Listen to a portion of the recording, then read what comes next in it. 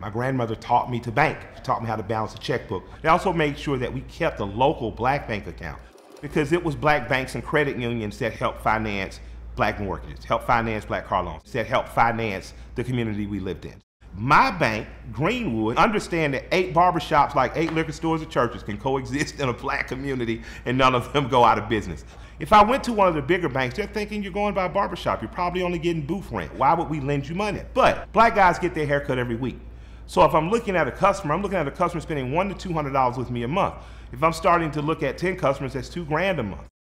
Long after I'm gone, I'd like to see Greenwood growing and doing exactly what it was named for. It was named for a part of Tulsa, Oklahoma, in which newly freed people began and set up their own community. And I think the greatest honor we could do those people is to make sure that we're doing the same in the digital space right now.